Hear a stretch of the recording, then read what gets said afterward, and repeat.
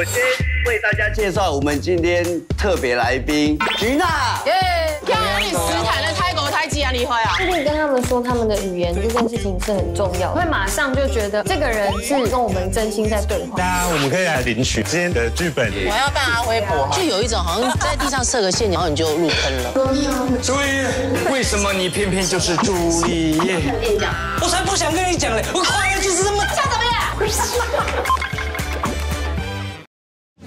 立即搜寻四季线上。